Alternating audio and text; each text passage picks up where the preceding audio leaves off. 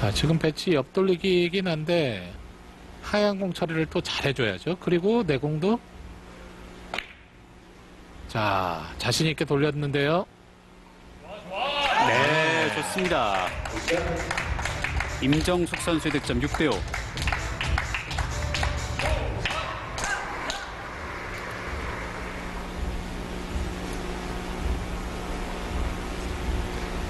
현재 세트스코 2대1로 뒤져 있는 크라운헤테 라운 4세트는 6대5로 다시 리드를 잡고 있습니다.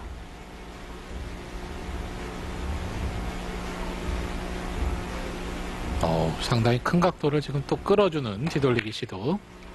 아, 아하. 자 충돌이 도와줬네요. 네, 크라운헤트도 오늘 처음으로 또 행운에 지금 득점이 연결이 되는. 아, 지금 좋은 찬스입니다. 네.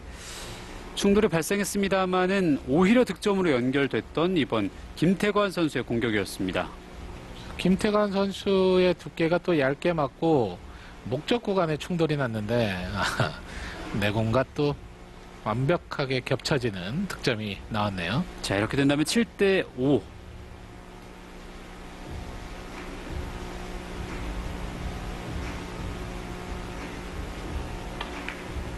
아주 얇게 옆돌리기 시도하는 임정숙 선수 들어갑니다. 8대 5. 자, 4세트 승리가 조금씩 가까워지고 있는 크라운 헤테라운. 어, 임종 선수의 지금 이 옆돌리기 네, 너무나 좋은 득점으로 연결이 됐습니다. 네. 그리고 또 옆돌리기가 나와 있죠. 세트 포인트를 만들어 놓고 김태관 선수에게 경, 어, 세트를 끝낼 수 있는 찬스가 찾아왔습니다. 다시 한번 옆돌리기. 들어갑니다.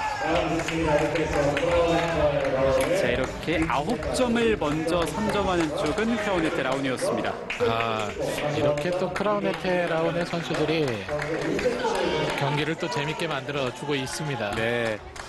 자, 세트스코 2대1로 밀려있던 크라운네트였는데 김태관, 임정숙 선수가 9대 5로 승리를 거두면서 이제 세트 스코 2대 2 바로 동점을 맞췄습니다.